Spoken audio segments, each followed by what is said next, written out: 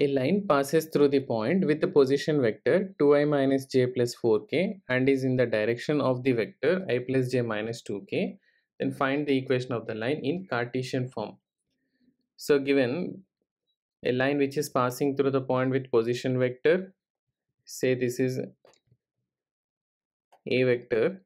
and in the direction of the vector that is parallel to the vector b vector, the vector equation is given by so vector equation of a line.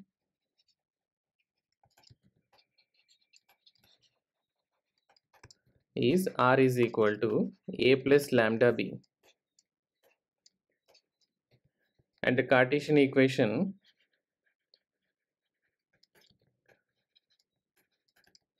so we have x minus x1 upon a is equal to y minus y1 upon b is equal to z minus z1 upon c which is passing through the line which is passing through the point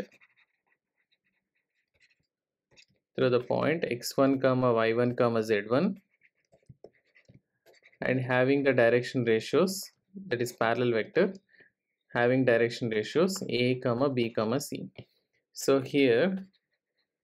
we can say the vector a is passing through the point so that we can write x1 comma y1 comma z1 is equal to 2 and minus 1 and 4 we can write. It's a vector a. And parallel vector is i plus j minus 2k so we can take the direction ratios.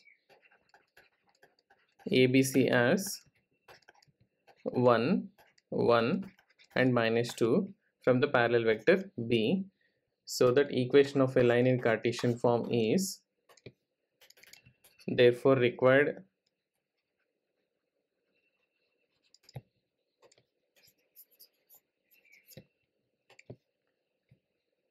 required equation of a line is